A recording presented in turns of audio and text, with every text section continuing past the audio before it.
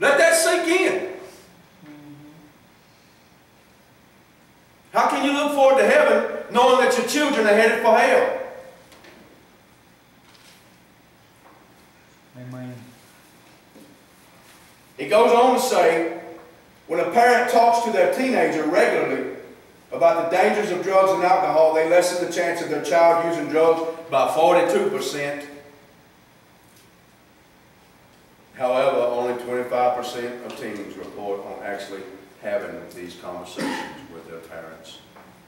And there arose a generation that knew not the Lord. Moses told him, You shall teach this unto your children diligently in your home. He didn't say in the church, he said in your home. When you rise up in the morning, when you lay down. I'm no more spiritual than anybody. I'm trying to help raise these boys. And the only thing I know to do is pray. Pray when we sit down to eat. Pray when we lay down at night. I can't get them up at 3 o'clock in the morning, gather them around the bed. They'd all be healed.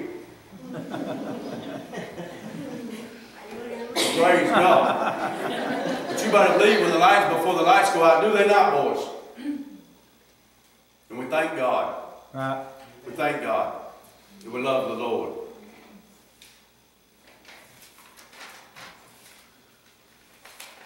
I got some other things here.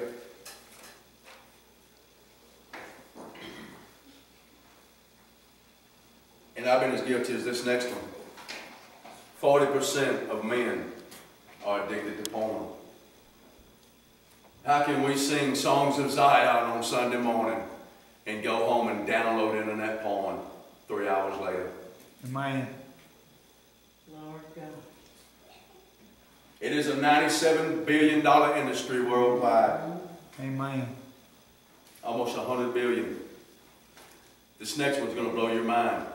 America only has 3% of the world's population, but it accounts for 10 to 12 billion dollars of that 97 billion dollars worldwide.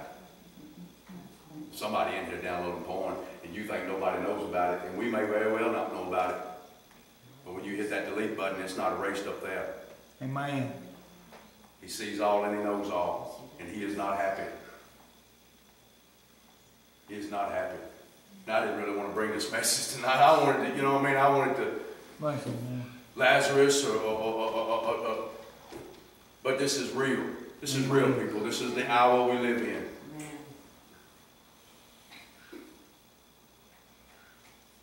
The next thing, in 1970, in 1973, Roe versus Wade. Remember what I said? The psalmist wrote in 917, the wicked shall be turned into hell and all nations will forget God. In 1973, the Supreme Court, the Supreme Court of this land, thank God we bow to a more enduring Amen. A greater ordinance, a higher statute than the Supreme Court. Yes. It don't matter what they're in favor of, it matters what God is in favor of. Amen. That's right. They passed in 1973 Roe versus Wade, abortion. Anybody want to take a guess at how many abortions that have been committed within the borders of this nation since 1973? Would anybody like to raise their hand and take a guess? In 2016, the number was 58,586,256 unborn innocents. Jesus said it were better that a millstone were hanged about your neck and you were cast in the depths of the sea than these, one of these little ones were offended. And some places the sea is seven and eight miles deep that we know of. That's written in red. The ancient kings in Israel and Judah used to sacrifice their children to the fire god Molech. And God's wrath came down on them. I don't know of hurricanes. I don't know of 8.1 magnitude earthquakes. I don't know of all of any of those things. I know that the Bible speaks of earthquakes and things of that sort. I'm not going to speak up and say it's the judgment of God. Really not. But 60 million, 60 million. Where are we at as a people when we will sacrifice our children to the lust of the night? Amen. That's no different than what they did in the Old Testament. None whatsoever. 3,600 abortions performed every day in this country. Oh, let me back up a minute. We're talking about porn. Kid porn is an $8 billion a year industry. $8 billion. Sick. Well, failing. Amen. Well, failing. I heard a gospel song the other day by the McKamey said, we're not praying to change any hearts. We're just getting used to the dark. Amen. Lord help us. Lord help us. What a responsibility. Over 700,000 runaway children in this country.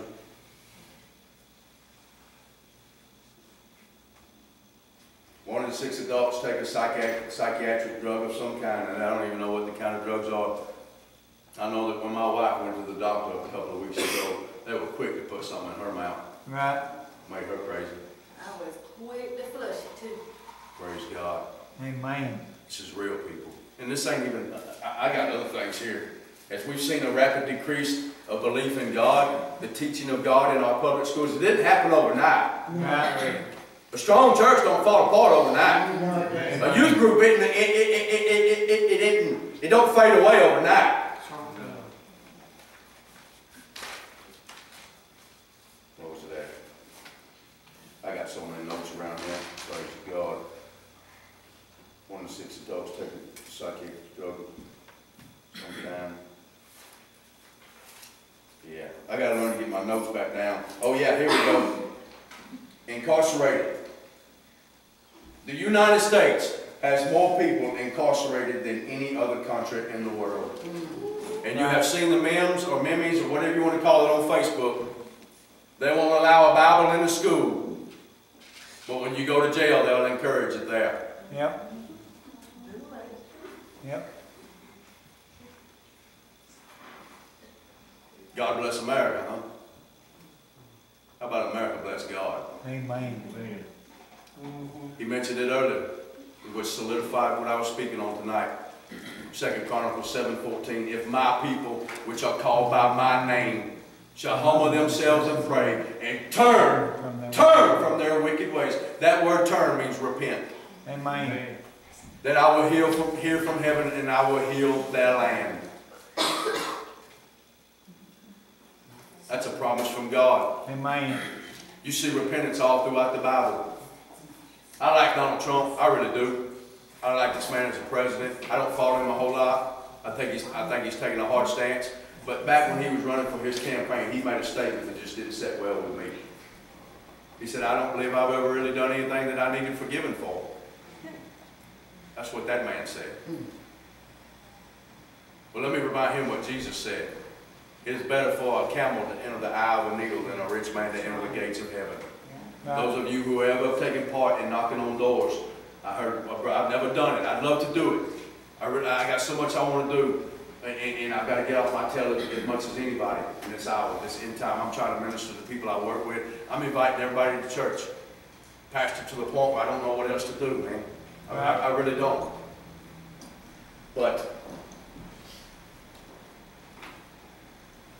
but when you knock on doors in a poor neighborhood, I've heard that those people are more receiving Amen. than when you go knock on a rich man's house. Right.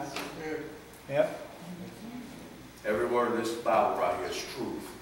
And you see it played out. They all spoke of repentance. John the Baptist got his head cut off for it. He told the king, he didn't walk in and say, oh, great king, live forever. He said, you committing adultery, and you're going to burn in hell for it. They had him killed. Brother Adams spoke on Psalm 51, David's repentant prayer. The difference in David and Saul was when the man of God approached David, David knelt and knew, knew. He repented. Saul had the man of God killed when he was approached. We got to get a repentant heart. Amen. John the Baptist preached repentance. Peter preached repentance on the day of on the day of Pentecost. Jesus Christ told him twice in, in, in, in the third chapter of John, Might have been another chapter, but I believe it's in the book of John. Amen. Lest ye repent, ye shall all likewise perish. Ye shall all likewise perish. We're not winning anybody to the Lord. We're losing. Right. We're losing. Okay. This, uh, I had a lunch with uh, four other guys this week, you know, it's only Wednesday, so it was just this week. And, uh, we brought up the Bible and things about the Bible. Two, of one of the guys, he does go to the church, but, you know, I just say that he goes to church. But two of them believe in aliens, actually believe in aliens. Two of them don't believe that every word in here is true. They want, they want to believe parts of it, but they don't want to believe the whole Bible. This Bible is, is, is, you gotta take the entire Bible. it's the unadulterated word of God. But Yes, it's, it is.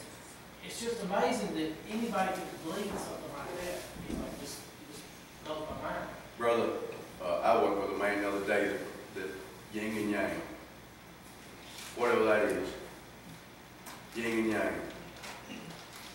Said he was raised Catholic. You let that go. Now, I don't agree with everything the Catholics, I- matter of fact, I don't know, I really don't know at all. But I had another brother the day that I worked with mention purgatory. Purgatory is where when you die, if you're the Catholic, matter of fact, it's, it's kind of how Rome, the Vatican got built. When you die, you haven't lived the holiness lifestyle, which the Bible says without such, no man shall see God. The Bible says that, whatever you determine to be holiness.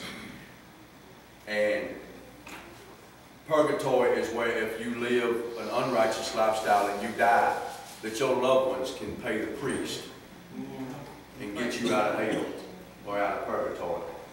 They say so many masses over here. Yeah, I work for a a Catholic man that, uh, passed away and his wife paid two hundred dollars a mass yeah. back in the early sixties to get him out of purgatory. They, uh, that's not what Jesus Christ said when he Amen. the rich man and Lazarus. He said there's a great gulf between us. Amen. The Bible says as a tree falls, so shall it lie. That's right. Good, good, good analogy there. Uh,